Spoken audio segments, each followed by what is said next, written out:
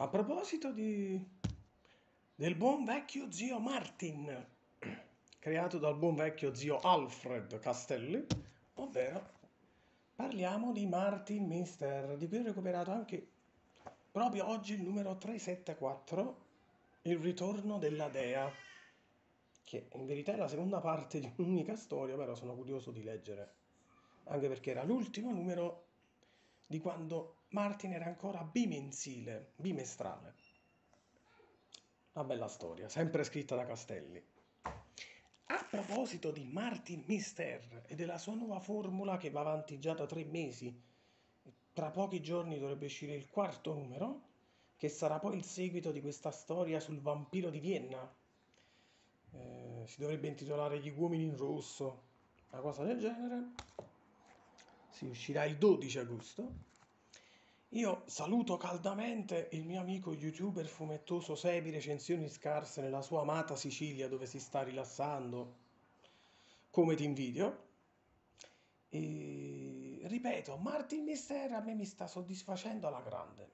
Belle storie, tipo pure quest'ultima scritta da Davide Barzi, disegni di Walter Venturi. Venturi, quello che ha fatto diverse cose pure su Zagor, su Cico, disegni bellissimi.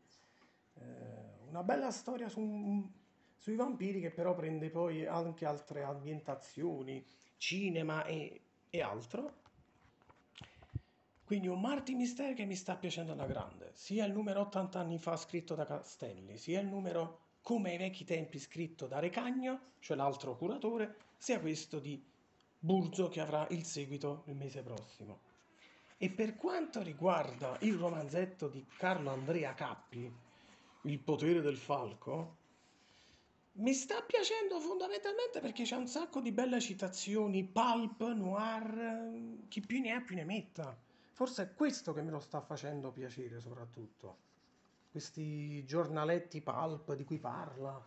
Addirittura qua c'è anche una citazione del personaggio di eh, Tex Wheeler, ehm, Kit Carson, Insomma, è bello anche perché riesce ad essere molto citazionista e compagnia bella. Forse questo è il motivo che me lo sta assolutamente piacendo. Forse se c'aveva un'altra ambientazione, tipo fantascienza, può essere che non mi sarebbe piaciuto. Eh?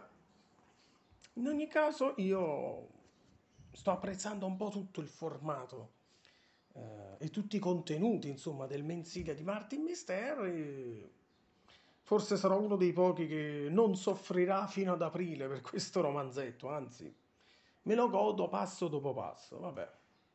In ogni caso, un saluto a tutti, a Sebi, a tutti e viva Martin Mister!